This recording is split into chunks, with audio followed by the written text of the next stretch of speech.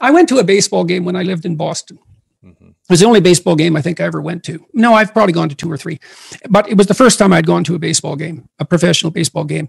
I thought, Jesus, baseball, who would go watch that? It's so bloody slow. It's like nothing happens. It is slow. It's so slow. It's nothing happens. And I have like 50 other things I should be doing. and and I went there and then I realized I was looking at all these people and I thought they're not even paying any attention to the baseball game.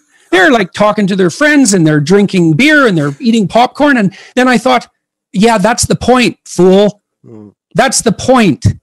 They're going there for that. Like you get to talk to your friends now and then someone hits a baseball and you can look at that and that's kind of interesting and you can eat popcorn and it's like they're relaxing. They're they're not, you know, climbing Mount Everest. They're just relaxing.